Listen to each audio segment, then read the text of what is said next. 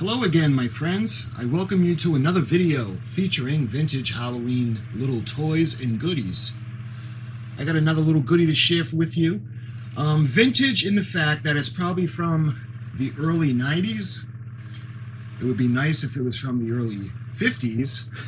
what I'm going to show you is I'm going to show you a night fright. It's actually a lantern. It's a spooky jack-o'-lantern type lantern designed to walk around with you during trick-or-treating on Halloween night. You can see Fright Night Light. He lights up. And let's see. Got an on and off switch and requires two CC batteries not included. Not recommended for children under five years of age. You can see him smiling at you. And the real vintage ones from the 50s, or maybe earlier, were actually made of glass. And I'd love to get my hands on a couple of those, especially if they're in their packaging. But those are really expensive if you can find them. So this one was $1.99.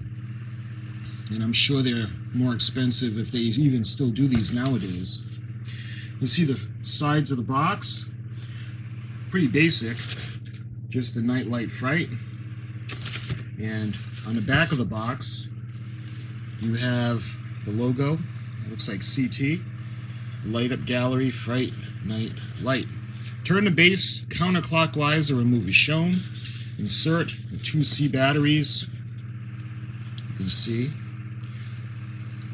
And lift up the top by pulling the metal ring before clear plastic is shown. Use a standard two 2.5 volt batteries.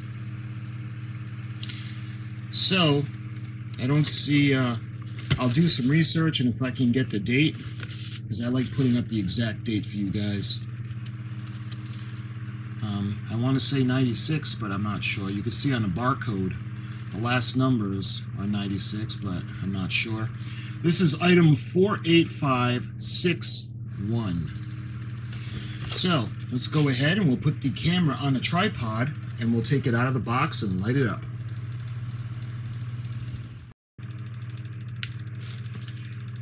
Okay, let's get this little guy out of the box. You can see. They packaged things really well back in the day.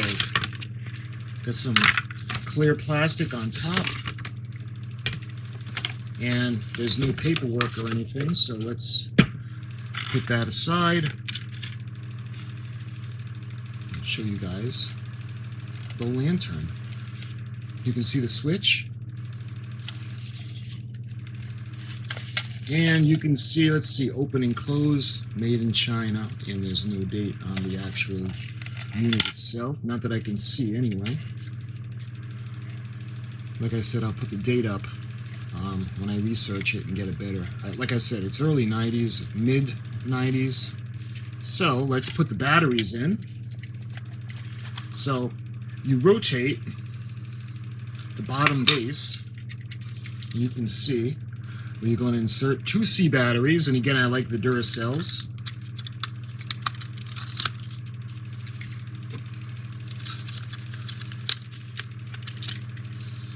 Just like that. You put the cover back on. You can put it into the slots and you turn it clockwise. So now he's all set. You can either hang him for your spooky Halloween haunt, you can take him with you while trick-or-treating. You can see it's got kind of like a keychain on the top. And let's put him on. Ooh, he looks spooky. Then you can hang him, hang them up on your display.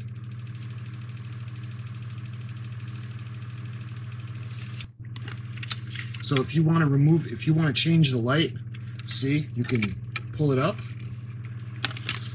and then the pumpkin comes out.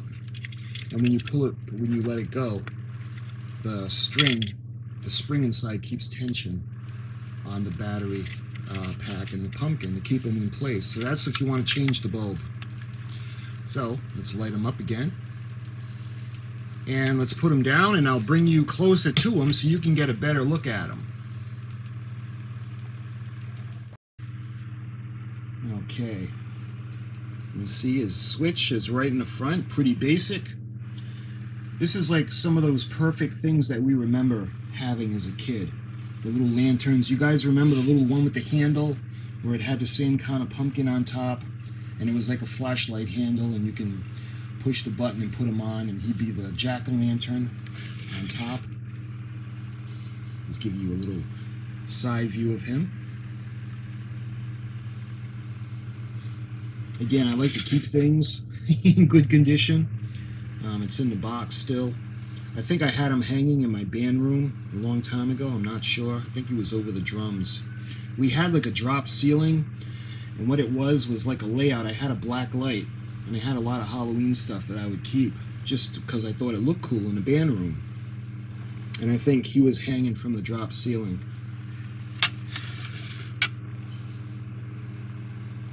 Can see the other side. And as the years went by, you could um, we had a lot of fun with the kids, and they play with it. And he's surprisingly still in good shape, considering.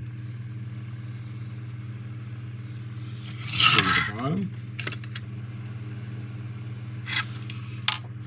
You can see we open and close it.